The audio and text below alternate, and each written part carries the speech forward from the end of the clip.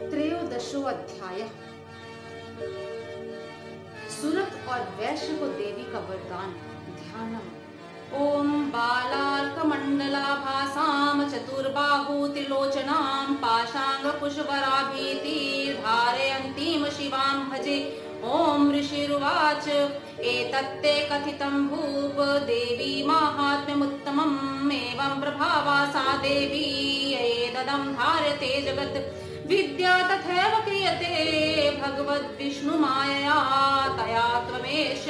वैश्यश्च तथैवान्ये विवेकिनः। मोहयन्ते मोहिताश्चैव मोहमेष्यन्ति चापरे। तामुपैहि महाराज, शरणं परमेश्वरीम् आराधिता सेवननां भोगस्वर्गाद स्वर्गापवर्ग वर्गदा।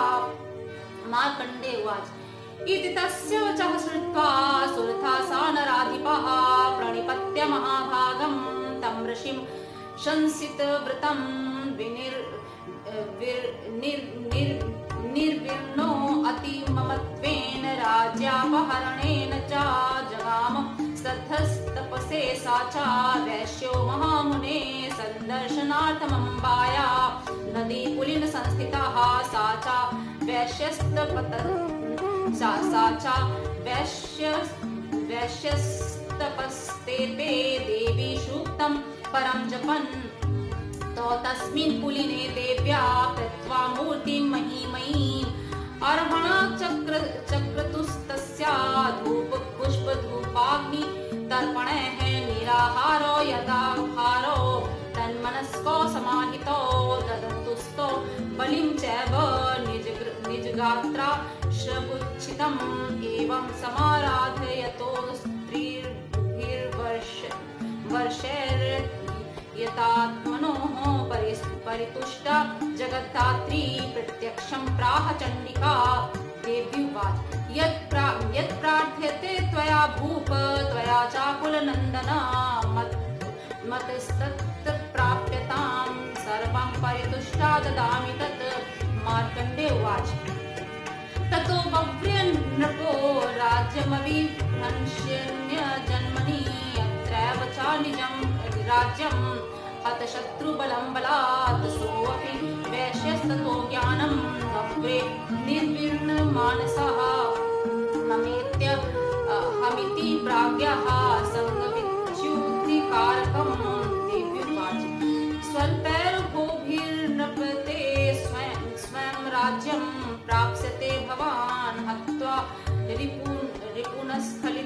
तव तत्र भविष्यति मृतश्च भूयः सम्प्राप्य जन्मदेवाद्विवस्वतः सावर्णिको नाम मनुर्भवान् भुवि भविष्यति। वैश्य वैश्यवर्य त्वया यश्च वरो अस्मत्तो अभिवाञ्छितः तं प्रयच्छामि संसिद्धे, तव ज्ञानं भविष्यति।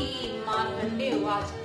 इति दत्त्वा तयोर्देवी यथाभिलषितं वरं बभूवान्तर्हिता सद्दो भक्त्या ताभ्यामभीष्टुता एवं देव्या वरं लब्ध्वा सुरथा क्षत्रियर्षभः सूर्याजन्म सावर्णिर्भविता मनुः। एवं देव्या वरं लब्ध्वा सुरथा क्षत्रियर्षभः सूर्याजन्म समासाद्ध सावर्णिर्भविता मनुः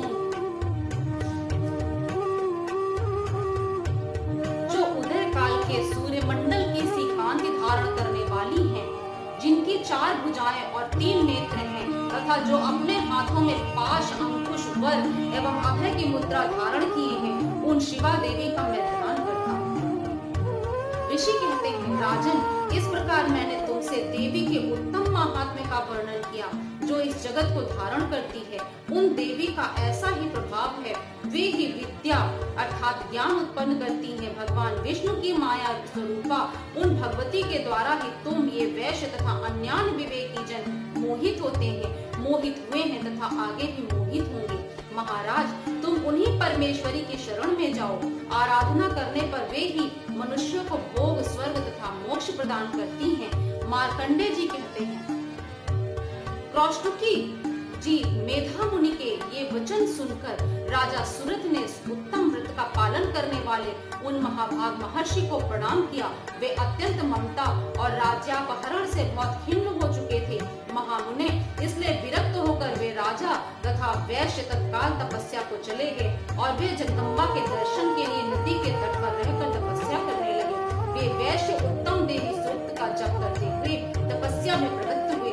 वे दोनों नदी के तट पर देवी की मिट्टी की मूर्ति बनाकर हवन आदि के द्वारा उनकी आराधना करने लगे। उन्होंने पहले तो आहार को धीरे धीरे कम किया, फिर बिल्कुल निराहार रहकर देवी में ही मन लगाए एकाग्रता पूर्वक उनका चिंतन आरंभ किया। वे दोनों अपने शरीर के रक्त से लगातार तीन वर्ष तक संयम पूर्वक आराधना करते रहे। इस प्रकार प्रसन्न होकर जगत को धारण करने वाली चंडिका देवी ने प्रत्यक्ष दर्शन देकर कहा, देवी बोली, राजन तथा अपने कुल को आनंदित करने वाले वैश्य, तुम लोग जिस वस्तु की अभिलाषा रखते हो, वह मुझसे मांगो। मैं संतुष्ट हूँ। अतः तुम्हें वह सब कुछ दूँगी।